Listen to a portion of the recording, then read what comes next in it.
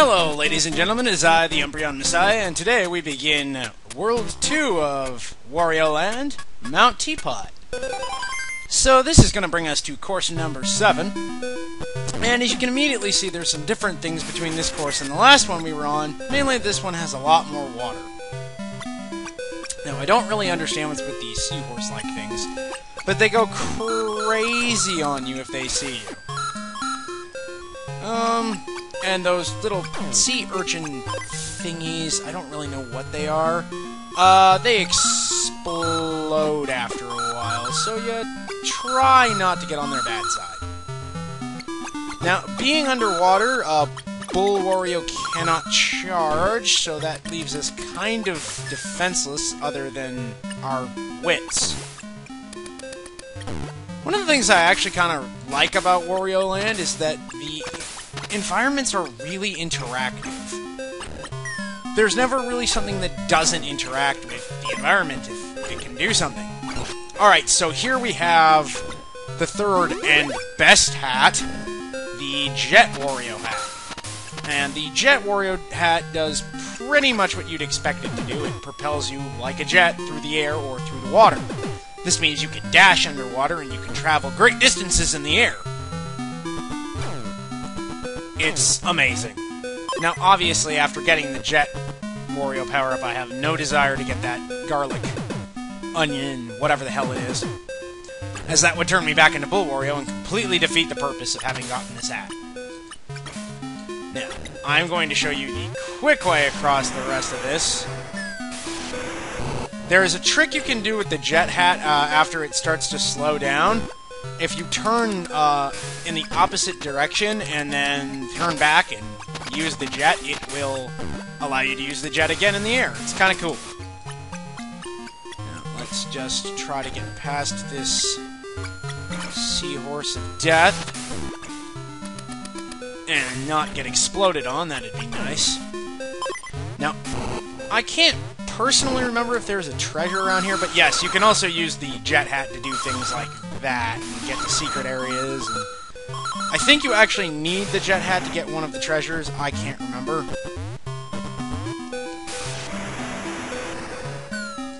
And we can just pretty much use it to skip the remainder of that. No reason to show that off if I don't have to, because I normally wouldn't, and well, if you get the jet hat and you don't do that, you're doing something wrong. Alright! Now, someone expressed a desire in watching me make a fool of myself in these minigames. Ow! But, considering what I'm trying to do, making a fool of myself in these minigames just isn't a good idea. I mean, there's always the chance I could come off with big payouts, but there's always the chance that'll happen too. And I would rather try to collect as much money as possible.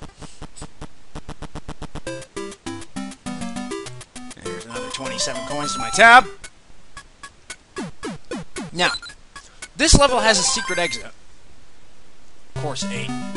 But we're not going to get it right now because it opens up not just another path, but another world that we're not going to do just yet. Gonna wait till Mount Teapot's done to do that. Oh, the other thing that the Jet Hat does that I forgot to mention is that it increases Wario's land speed, so you run a bit faster. Kinda neat. Oh! Missed me. And grab these and go over here. Now, this area is kind of annoying because it gives you a lot of those exploding sea urchin thingies, and they tend to bounce around a lot. So you kind of have like an equal opportunity to completely screw yourself by picking one up. The physics makes absolutely no sense. Now I'm gonna grab this jet hat, even though I probably shouldn't. Uh, the extra hearts are nice. Let's try to not fail here. Yep, let's not pick that up, because that'll just be bad for me. Now, here we have another set of new enemies that you can actually kill with a dash from Jet Wario. The penguin... Uh, I'm sorry, not penguin, pelican things um, shoot... What is it? They throw the exploding sea urchins at you if you give them the chance. uh, it's usually just better not to. You can also stop them by hitting them from below, but that just sort of knocks them unconscious. It doesn't really get rid of them. Yeah, see? Exploding sea urchin thingy. But if you have the jet power-up, you can charge them and actually get rid of them, which is kind of neat. Alright, here we have um, water currents. I'm sure everyone's done something like this in a game before. Jet Wario allows you to fight the current a little easier. Uh, it's entirely possible to fight the current without its help. Probably preferable, actually. Uh, gotta be careful with these guys. Alright, that's another jet hat. Don't need that currently. Alright, get past him, and into the door believe over here is where that secret exit is. With these two rat guys. Oh, no! You jerk! Well, as you can see, the game is trying to point us in the correct direction, but we're not going there currently. So let's just head into the exit here and cry myself to sleep after having lost the jet hat. And skip this noise. And let's move on to course 9, shall we?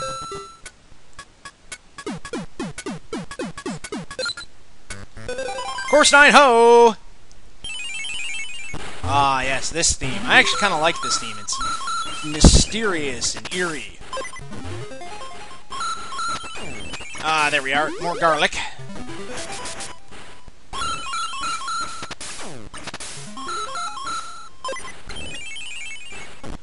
And into the waterfall. Uh, no. I'm gonna check these chests, uh, boxes, because I can't remember what's in them. I don't know why I'm calling them chests. Not chests. Eh, more garlic. Stupid crab people! Those are hermit crabs, right? I'm not losing my mind or anything, am I? I guess not. Okay, now, this area is where our next treasure is gonna be, but it pulls that sort of early 90s video game, this is how you hide a secret sort of deal. It's actually really well done, and I kind of get the feeling that a lot of more recent gamers wouldn't pick up on this. Which is sad in so many ways, but... Ah, here we are, another jet hat. Sweet. Now, I believe this is just the midway point. Yeah, just the midpoint. Not gonna bother spending my cash on that. Or maybe this isn't where that treasure is. Maybe I'm thinking of the next level. In either, in any event, these penguin thingies need to go. They're annoying. This is their little balls of death. Ha! Just skip most of that. Not worth dealing with those guys. Another jet hat. Boing. Boing. Okay, now see here we have a key. But we, if we go forward, we will not find a treasure chest. But we also have this broken block here. And this broken block is meant to denote a hidden doorway. With a giant coin worth a hundred friggity coins. Hell yeah! And in here we have the treasure door. Walk on inside, bust open the treasure chest, and collect a harp. So sweet. And that will go on space B. And that is our second treasure out of 26. Is it 26? I may have miscounted. Anyway, now that we've collected that treasure, we're free to finish up the rest of the level. Which shouldn't be too... Okay, now there's these things. You can jump on top of them, but if you don't, they stick to you, and the only way to get rid of them is to leave them on another surface. Hmm... Question is, do I do the mini game here or just take the coins? Let's do it! End this video on something of a high note, I hope. That is not a high note! That is a 10 ton weight. Stop it, Wario. oh, come on. This is even isn't even failure. This is just bad luck. I hate you with the fiery intensity of a million Foreman grills. Ah, well, that'll teach me to do that. Oh, what do you know? Not 26 treasures. More like 20. But that is the end of this video. See you next time when we continue more Wario Land.